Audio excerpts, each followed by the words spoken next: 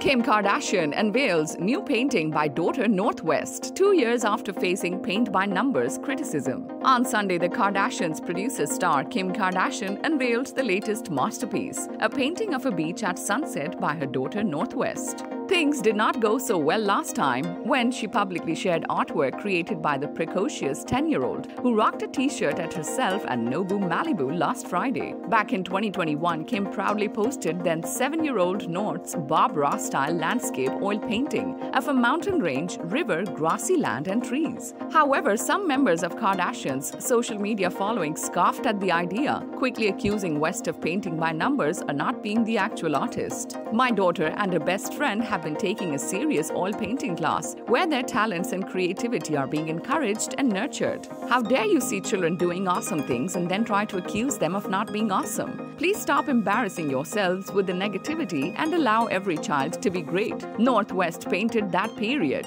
Subscribe to our channel for the latest on your favorite celebrities. Like, comment, and share, and don't forget to press the bell icon for notifications.